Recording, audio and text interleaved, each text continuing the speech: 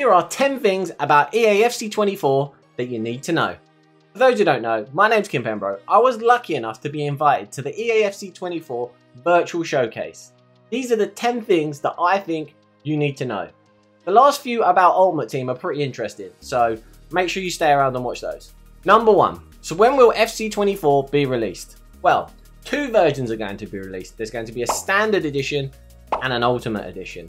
I'll tell you what you get in the ultimate edition in just a second. The standard edition comes out on the 29th of September 2023. That's going to cost $79.99 or if you're on PC, $69.99.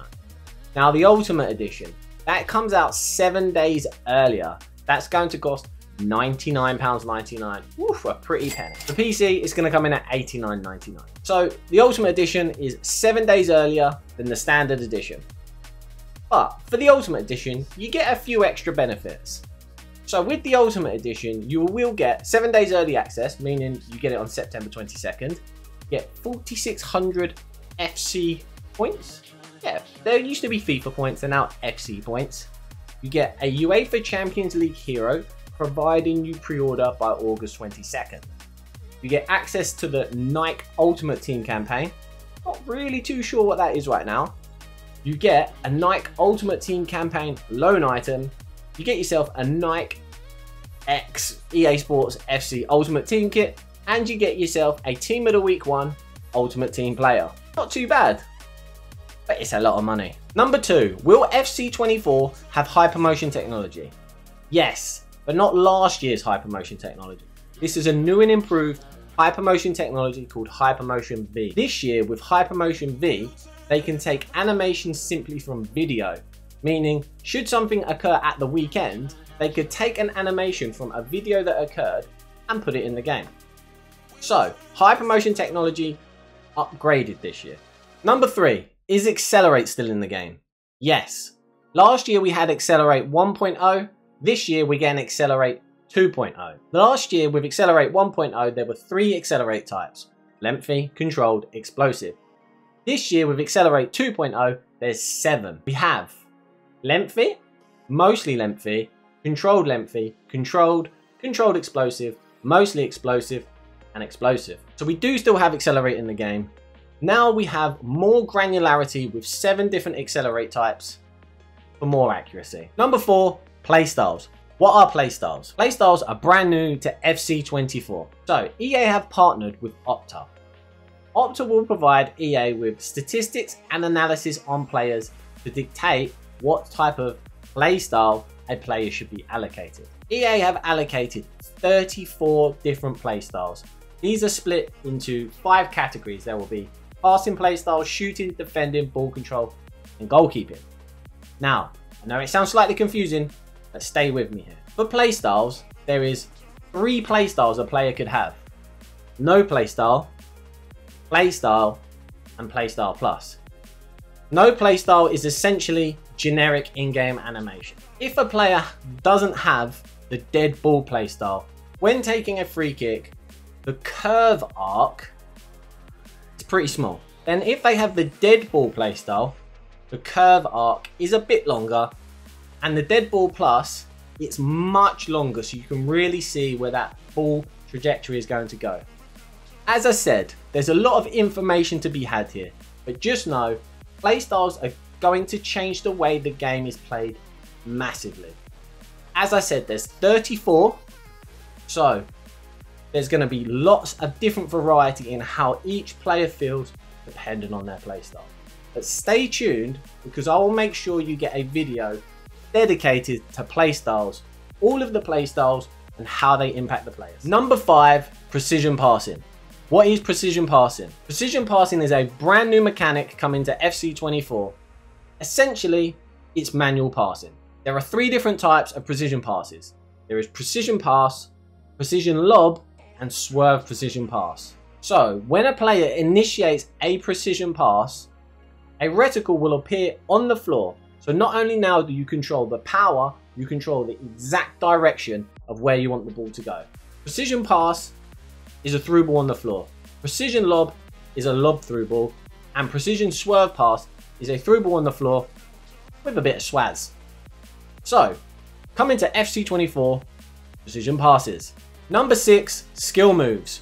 Will we be getting any new skill moves in FC24? Yes, we will be getting 4 new skill moves. These were showcased in the gameplay trailer the other day. As you can see on screen, here are the 4 new skill moves. Skill move number 1 is called the Skill Rainbow. Skill move number 2 is called the Flair Nutmeg. Skill move number 3 is called the Ball Roll Drag. And skill move number 4 is called the Drag Back Turn. These will be 5 and 4 star skill moves and I look forward to performing them on the pitch. Number 7. Will FC24 be using the Frostbite engine? Yes, that is an enhanced version from the previous years. Essentially, you're going to get improved visuals on players, clothing, lighting, lots of good stuff. Number 8. Will there be a new menu system in FC24? Yes, there will. Gone are the days of the blocky menus. We now have a nice, sleek, up and down menu system from the main menus to the in-game menus, as you're used to, going from up and down. It's intuitive as well, so in the main menu, it remembers your favorites and that sort of stuff, prioritizes them at the top. And inside things like Ultimate Team, you can set up some shortcuts to make navigation much easier. I've seen it, I've used it, love it. Number 9, Ultimate Team. The bit that I know a lot of you have been waiting for. In this section, we're going to cover off the brand new feature called Evolutions and the small changes that have happened with the chemistry system. Let's go. Evolutions. So what is Evolutions? Evolutions is a brand new feature coming to Ultimate Team in FC24. Before we get started, let me just say, Evolutions themselves require a dedicated video. This is just a brief overview of what we've seen and what you can expect. The way in which it works is there will be predefined criteria for you to be able to select the player and put them through into what is called an evolution pad. What happens is then is you will select a silver striker from the Bundesliga and complete objectives in order to upgrade them. Level 1 could be something like play 5 games with this player, score 5 goals with this player, and that will be level 1 complete. Once you have completed that level, you will then receive permanent upgrades.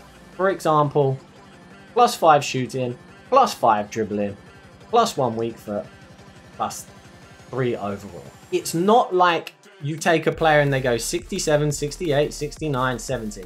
It's more of a, a jump once you complete each level. Now, once you have completed each level, for instance, level 1 and level 2, that will be all that's available. So at that point, your player has hit its evolution peak, is completed, but that doesn't mean that is it.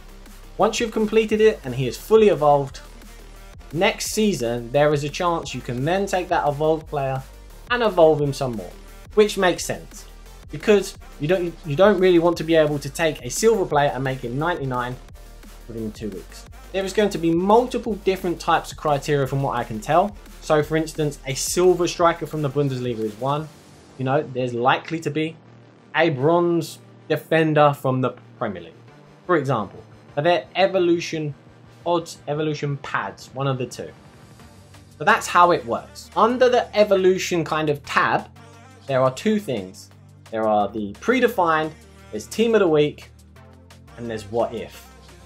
Come to that in just a sec. So at this point, there is a cost associated with it, which I don't know if it's going to stay that way. For example, you could take a 86 Jude Bellingham, team of the week, pay, I think it was 10k. That's likely change. Pay 10k, complete the objectives, and turn that 86 Jude Bellingham into an 87. Crazy. So it's not just silver players. And finally, I know there's a lot of information here.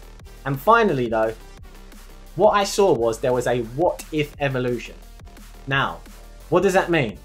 As you can imagine, you can take, for instance, Gold Van Dijk, put him into a what if evolution, and change him from a centre back, 90 rated centre back, to 91 CDM. I honestly, I was amazed when I saw it. I cannot wait. I know that's a lot of information. Apologies, I tried to summarize it, but I'm excited. The feature looks incredible, and I cannot wait to get evolving players. So that is Evolutions as quick as I could possibly do it. As I said, there will be some small chemistry changes coming to FC24. The first one being position modifiers are being removed, thank goodness. What that means is any player who's got a primary and an alternate position will get chemistry as soon as you move them in. So for instance, if you have a striker who has a striker and a left wing, you can just pop him in striker or you can pop him in left wing. It will automatically change. No position modifiers needed. And that means draft is going to be significantly better as well. The second change is icon chemistry. Now this year, icon chemistry is not particularly good. It gives only two notches to the nation. That is it. The big change coming in FC24 is icons will now give a plus one notch to any league that is represented in that squad. So if you have a Serie A, a Premier League, a League One player in that squad, simply by putting an icon in, you'll then get a plus one to all of them. The icons will finally become extremely more usable and the powerhouses that they deserve to be. They're the two small changes that I know about chemistry at the moment. I'm really looking forward to seeing them. I'm looking forward to jumping into draft. And finally, number 10, women in Ultimate Team. How is this going to work? Women are coming to Ultimate Team and what that means is you can now have men and women in the same squad. That means you can have Sam Kerr and Kylian Mbappe, same team. Women and men will all be in packs. So you can pack women and men from the same pack. Chemistry is the same. So men and women get exactly the same type of chemistry as they would now. The big difference is, is that you will get a bonus chemistry, for example, if a woman and a man plays for the same club. Because obviously they can't play for the same team, they play for the same club. So for instance, Nkunku and Kerr both play for Chelsea, they will give each other the plus one. They obviously don't get the league because they are different leagues, different nations. But club chemistry for men and women, that's how it works. And it's important to note, women's ratings will be based on the competition they play in in the real world. Okay? Just remember. So yes, we've got women coming to Ultimate Team, and I can't wait. I'm looking forward to seeing what type of squads we can build. I've got a feeling we're going to see some really good squads being built. Know, that Mbappe Kerr strike force, you don't want to come up against it. Today were the 10 things about EAFC 24 you lot needed to know. These all come from the FC24 showcase. Bear in mind, there is still plenty of time for things to change, so nothing is final. Now, if you enjoyed the content, drop a like, subscribe to the channel. We will be producing regular EAFC 24 news. Finger will be on the pulse, it will be out quick, it will be accurate. That's what you like. Hit the subscribe. See you later.